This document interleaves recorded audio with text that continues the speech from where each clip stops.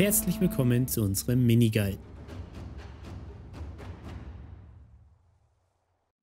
Beginnen wir mit einem kurzen Überblick zu Nasus. Er gehört der Rolle der Kämpfer an und man spielt ihn auf der Top-Lane. Seine Schwierigkeit liegt im mittleren Bereich, dennoch ist nach kurzer Zeit gut spielbar. Den Schaden, den er verursacht, ist gemischter Schaden.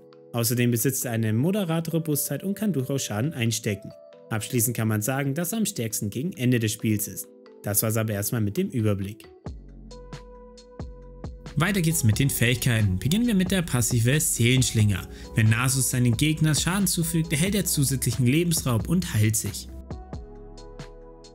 Bei der Q schlägt Nasus auf seine Gegner ein und verursacht Schaden. Wenn er das Ziel tötet, erhält er 3 Steigerungen. Für jede Steigerung macht aussaugende Schläge 3 Schaden mehr.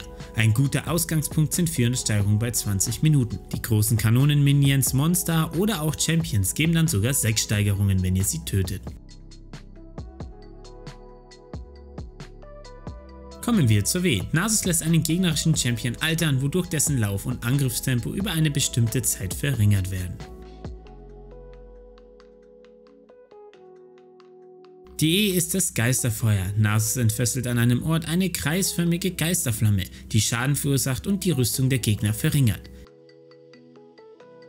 Zum Schluss zur Ultimate. Nasus entfesselt einen mächtigen Sandsturm, der nahe Gegner beeinträchtigt. Solange der Sturm wütet, erhält Nasus zusätzliches Leben und Angriffsreichweite.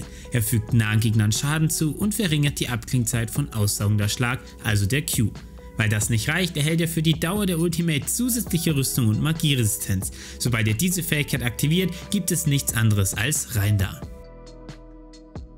Danke, dass du unseren Miniguide angeschaut hast. Wir hoffen, dass er dir gefallen hat und du jetzt ein besseres Verständnis für den Champion hast. Wenn du noch mehr über andere Champions erfahren möchtest, schau gerne in unsere Miniguide-Playlist rein, in der haben wir nämlich alle Champions einmal durchgemacht. Wir bedanken uns bei dir für deine Unterstützung und freuen uns, wenn du weiter in unseren Content verfolgst. Bis bald und Hashtag Stay Untiltable.